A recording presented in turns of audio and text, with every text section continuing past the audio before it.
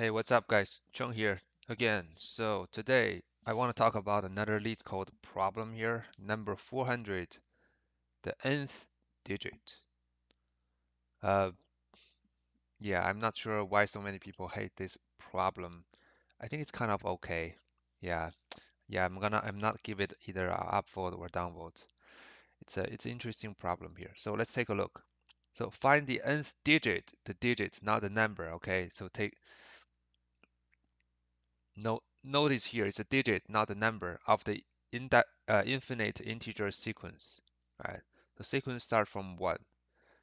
And you need to find the nth digit. So the digit means the uh, if you have a number, right? If you have num number a number have like more than one digit, for example 10, right? So for example here you have you need to find the 11th digit. So what is that? 1, 2, 3, 4, 9, right? So the 10th digit the 10th digit is, is 1 and the 11th digit is 0. That's why the answer for this problem is 0, right? So as you can see here, so each uh, number with two digits will will use up will use uh, two two digits, right? Each number with three digits will use like three with three digits, right? And ask you to find, giving you the number of n, how can you find the nth digit, right? And so if you look closely from 1 to 9, uh, it's one digit, right? From 10 to uh, uh, 99, right? That's uh, that's two digits, right? Same thing for 100 to 999 that's three digits, right? So how how many of how many of, of digits are here in total? Nine. How about here? Sorry, sorry. How many numbers? How many numbers in from one to nine? It's nine, right? How about from 10 to 99? 90, right? How about from 100 to 999? 900, right? So basically, this will have like have one time one digits. This will have two digits. This is how will have three digits, right? So with this like observation here, we can find the range. We can find the range of the starting point, right? By looping through the by keep uh subtracting the digits from uh by with this pattern until we see a negative number here. All right, and then and then we can use this one as a as a starting point, as a starting point to uh, use the length of a starting point to find the uh, the the the actual number, the actual digits, right, in that range.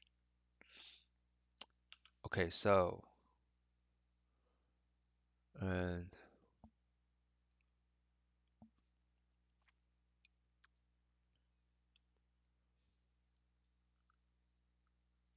okay, so what what are we gonna do, right? So you can see here, so that's the range, right? So until the number is not exceeding this range, then we know we need to stop. So how what do we do? We uh we simply start the length will be one and the count is nine, right? We simply start this and then we, we do a while. While n is greater than the uh, if n is still greater than the length, right, times the count, right, then we know we still need to keep moving to the next range to the next range. And so n minus length count. All right, then we, we increase the length by one and we also increase the count by by 10 times. All right. So basically every time we start from one with nine with nine nine numbers and the length is also one, right? And we keep the uh, subtracting the this total digits for the current range uh, out of the n until we reach and once we we uh, move to remove 9 and then we try to remove we try to remove 90 times 2 digits if this one n is still that the remaining is still greater than this, and then we know, okay, so the number has to be three digits, uh, above two digits, maybe three digits, maybe not, right? And then let's say, let's say for example, let's say we have a number uh, two, three, one. All right, so first we try to remove nine, right? We, we remove nine times one, which is the, uh, it's gonna be uh, uh, gonna be two, two, two, right? And then we try to remove 90 times 2, right? Which is 180. We get 42, right? Because since this 2 to 2 is still greater than this, than the second range, and then we know we need to go to the third range. But 32 is smaller than the 2700, right? So then we know, okay, so the number we are looking for is, is three digits, right? And now with the 42 here, it's not hard to come up with the, uh, the actual number we need and also the digits within that number, right? So go, let's go here. So, okay, so let's take this as an example here, right? Now, since we know the, let's get a start number here, right? And we know the number will be the 10 to the, the what? The length, the length minus one, right? Because right now the length is three, for example, in this case, right? And we, the, the starting number we need is the 100, right? That's why we need to do a length minus one so that we can have a 100 at the start number here. Now, uh, let's do a, and now we need to uh, do a that uh, div mod, right? With this like the remaining n here, uh, with the length here, right? We need to find out the actual number starting from this number. So I'm going to give number dot remainder, right? Equals to that, right? So here I do a simple check here. Basically, if the remainder is zero, right? It's zero. What what does it mean? It means that okay, so the the uh, if it's zero, it means the uh, that digits we are looking for is the last digit of the number of this number plus this one, right?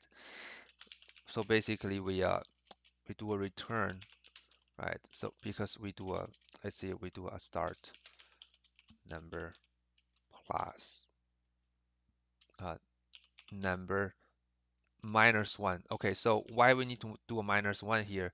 Because the uh, the 100 itself, the 100 itself also needs to use up one uh, three digits.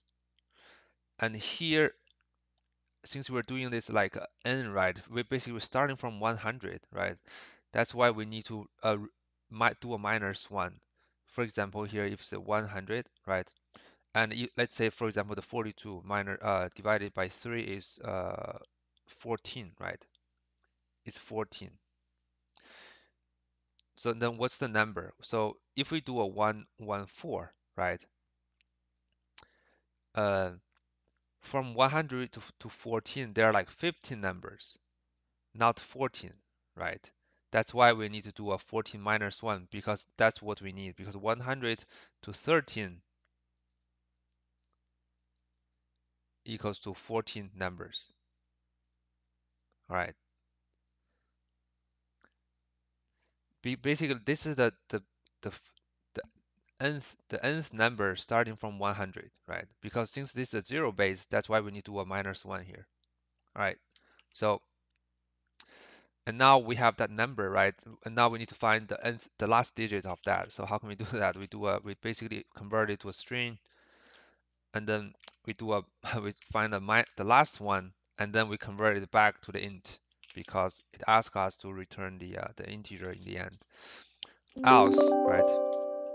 What if this remainder is not the uh, has some remainders, right? Then we know okay, so we need to do the next we need to go to the next the next numbers, right? Same thing here.